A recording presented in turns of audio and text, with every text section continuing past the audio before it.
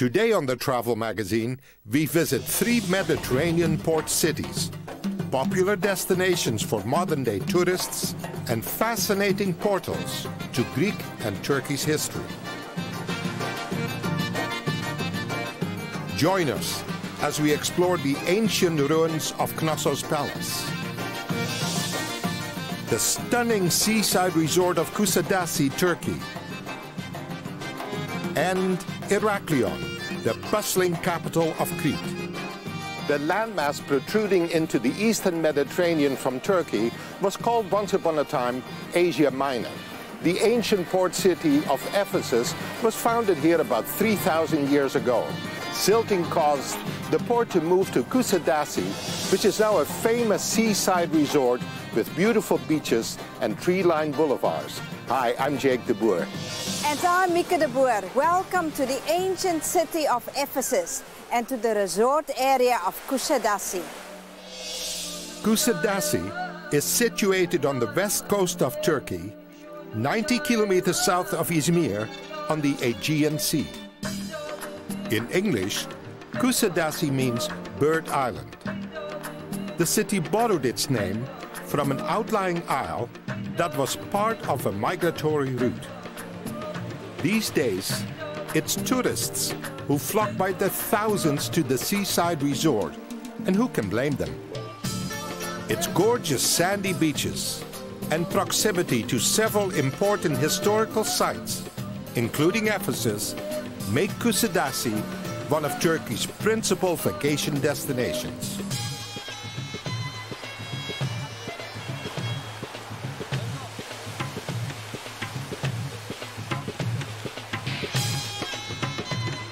With 50,000 residents, 99% of whom are Turkish, the holiday hotspots population swells during tourist season, and many of the locals are able to make a living from tourism industries, including traditional artisan crafts.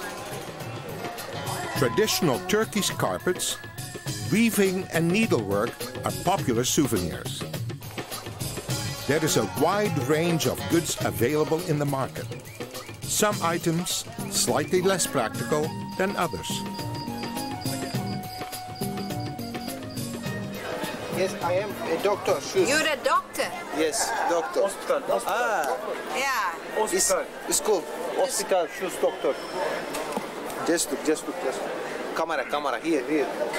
Only, But, but I don't want the shoe like this. Yeah. This is not a good doctor. I am doctor. How many years? How many years were you a doctor? Uh, 20 years. 20 years you're a Yes. doctor. Doctor, shoes doctor. Shoe doctor. Well, my feet is very tired and my shoes need to be fixed. Bak şimdi. Finished? Çok acele edersen eline şak batırırsın. Oh, Yeah. you mean it otherwise it will get loose again. Ya. Abi, çal, abi, bırak. Yapacaksa yap. Thank you very, very much. Onu da sorayım dur. Oh, okay. Oh, that's my toes. My toes. My feet. You make, you make my feet clean. Thank you very much. fırçalıyorsun. Sen diyor ayakkabılar değil diyor. Good. Thank you very much. I'm going to shop now. Okay. With a good pair of footwear, you can literally shop until you drop in Kusadasi. Local artisans have many talents and display their handcrafted wares alongside vendors flouting more modern fare. When your feet need a break, you'll likely be tempted to order a snack at one of the many cafes in the market. Once you've recovered from shopping, you may wish to take in some of Kusadasi's mosques, which provide excellent examples of Ottoman and Turkish architecture. A pleasant 20 kilometer drive from Kusadasi, Ephesus was once an important port city that housed the Temple of Artemis, one of the seven wonders of the ancient world. Its ruins are magnificent, but far too expansive to be viewed on an empty stomach. Fortunately, it's snack time again. Get ready for some more Turkish delight as we sample from an authentic roadside cafe. Happy I don't have to make this. No, I mean, you could be doing that at home too, instead of being in Kusadasi, Kusadashi and Ephesus. But you know what is amazing? Is that we are halfway between Kusadashi and Ephesus. And, you know, there's an old roadside stand. You can have your Turkish coffee. They make bread early in the morning for the locals, for tourists. And um, are we going to taste it? Oh, it looks very, very good. You know. I would like to give it a try and see what it's like.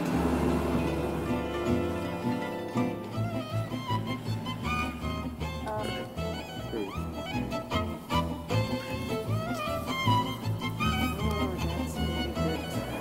You. Taste it.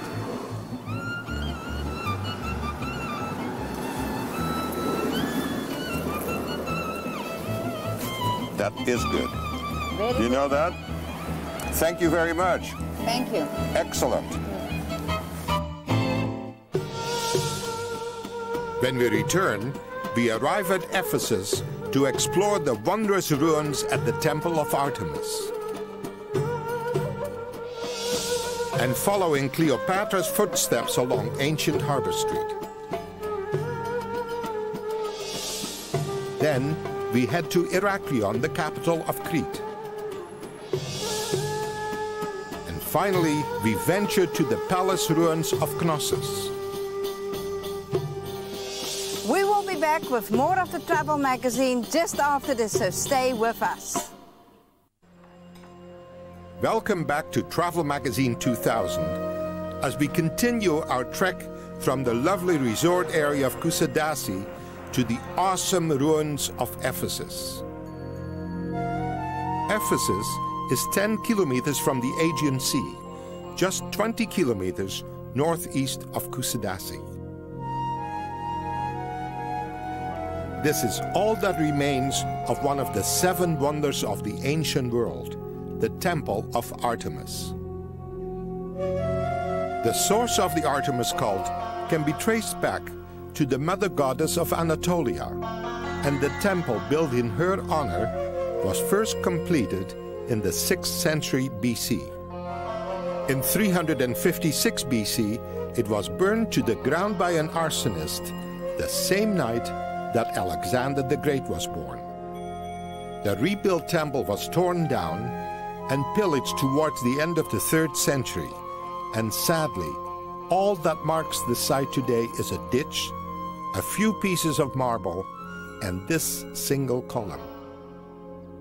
Tell me, what is Ephesus? Ephesus uh, is the biggest ancient port, harbor of Anatolia for the exportation uh, to Europe.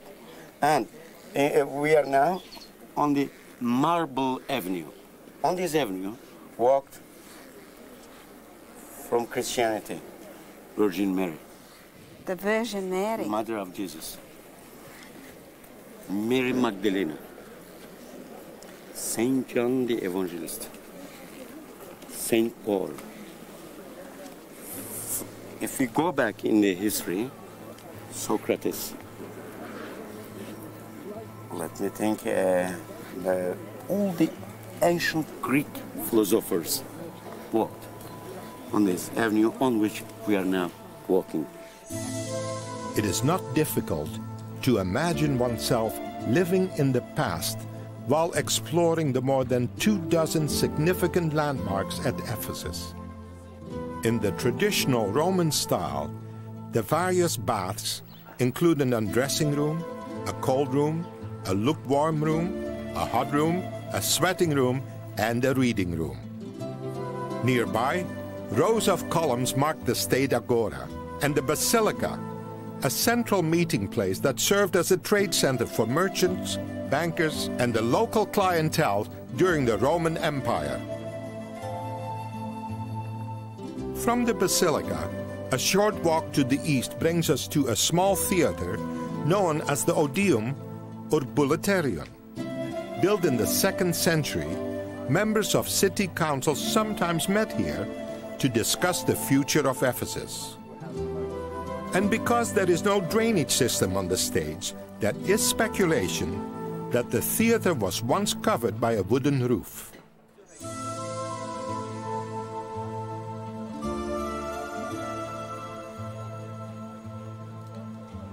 Well, now we are walking on a marble avenue where we see uh, horse tracks or uh, the chariot, uh, chariot tracks, uh, uh, the, the deepest ones in Ephesus. Uh, Are these actually the chariot chariots, tracks yes, from yes, yes, 2,000 the years ago? 2,000 years. 2,000 More- years Even ago. more than 2,000 years. More than 2,000 years, under which there is a sewage system, canalization system. Large, two meters deep, six meters long, two kilometers. At the palace of the council, a sacred fire, tended by Artemisian priestesses, was always kept burning. The stately Doric pillars are inscribed with the names of the priests of the Roman Empire. This memorial was erected on Domitian Square during the first century in honor of Memmius, grandson of the dictator Sulla. This temple was the first to be built in the name of an emperor of Ephesus and featured shops and warehouses on the ground floor.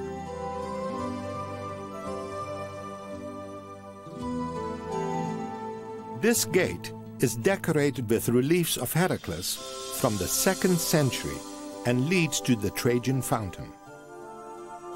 It is written Traiano, Caesarea, Sto Sevasto,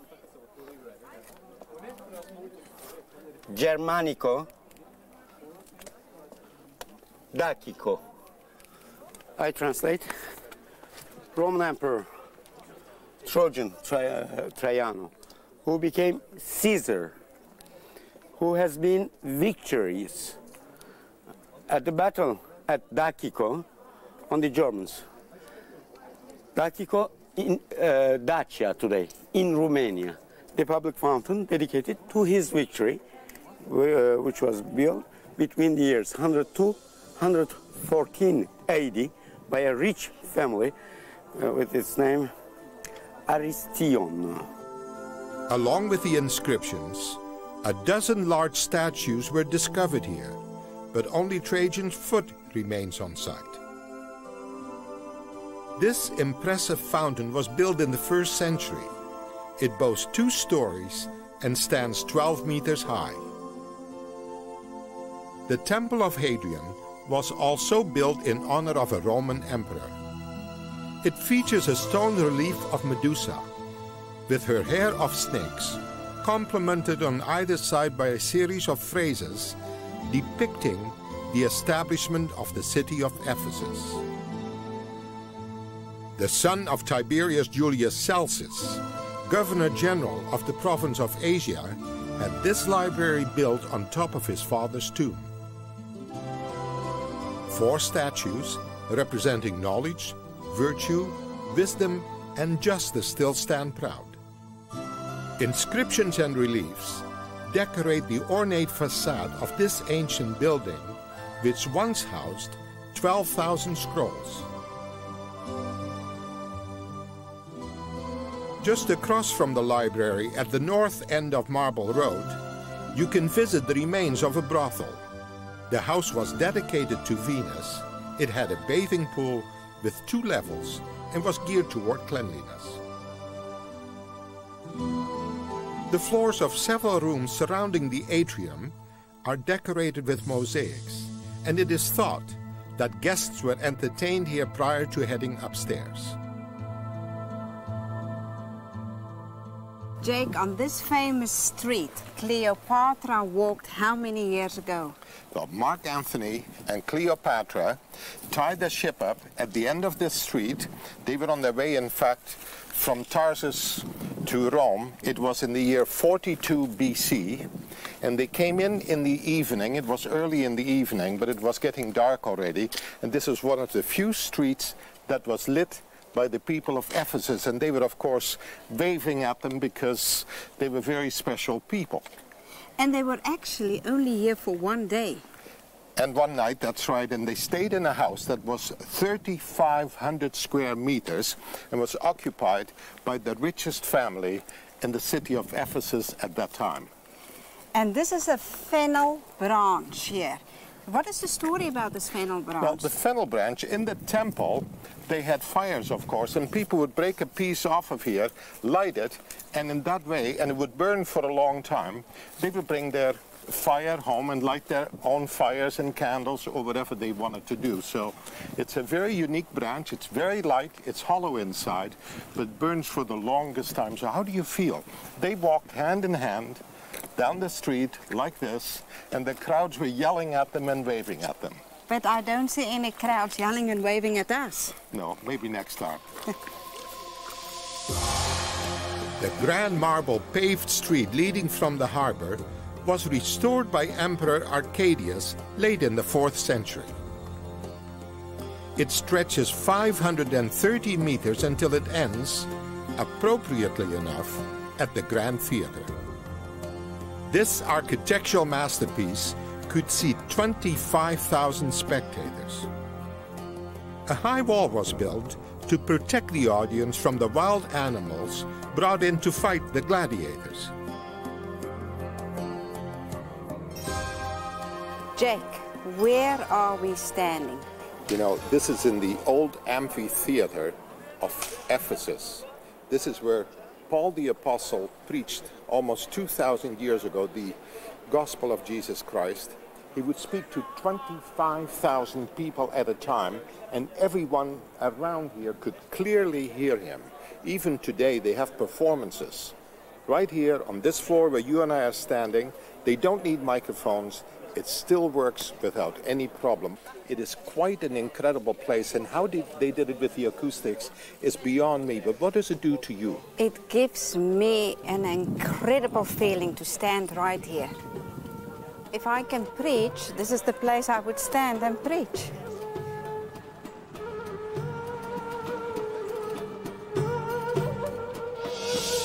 When we return, it's back to the present with a stop in Heraklion, the modern capital of Crete.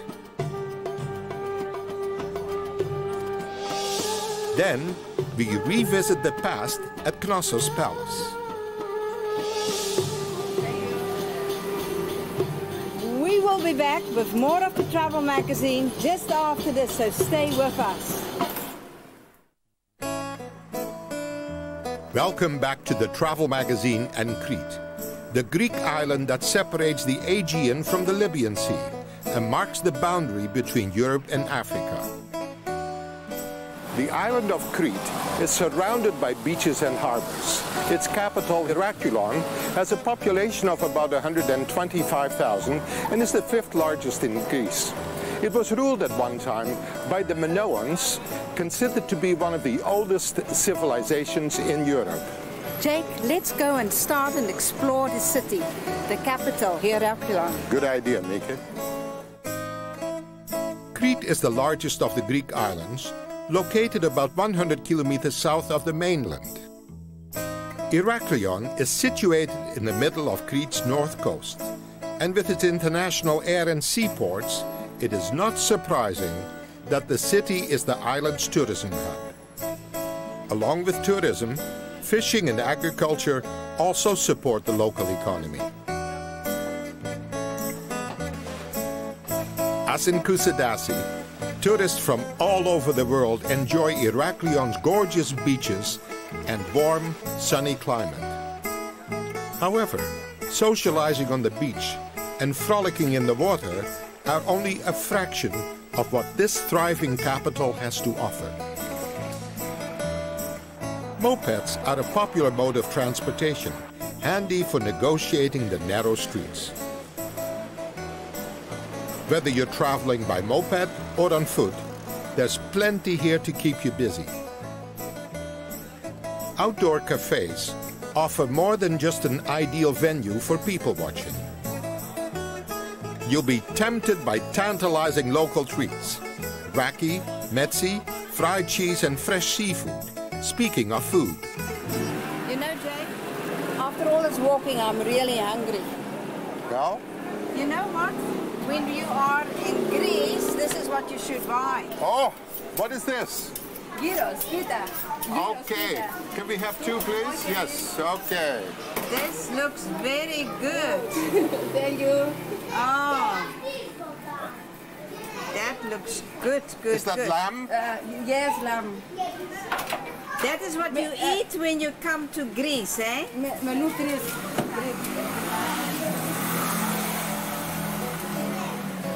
Okay. Tzatziki, Yeah. tomato, That's it. That's it. No, no, no, no. Oh, that looks good. It's the best. Excellent.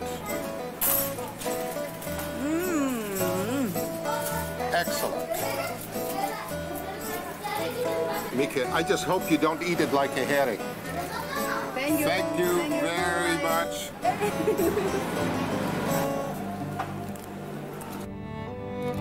After enjoying our decadent lunch, we are headed to the palace at Knossos, about five kilometers from the center of Heraklion.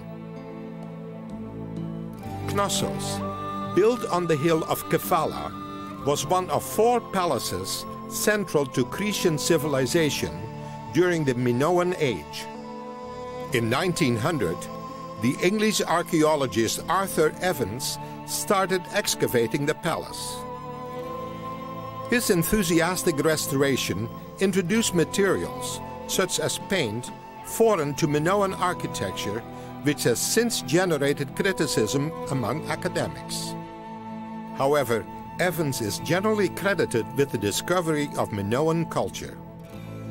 Thanks to his efforts, today we can appreciate such ancient treasures as this colored relief of the Prince with the Lilies or Priest King, and these reconstructed jars, which were used to store oil and wine. There were originally 21 storage rooms in the palace, which is divided into a three story west wing and a five story east wing, each with a ground floor on the level of the central court. This was a wonderful experience today. But you know what? We're out of time. I hope you've enjoyed Kusadasi and Ephesus as much as we have. I'm Jake de Boer. And I'm Mieke de Boer, and join us again as we travel the world.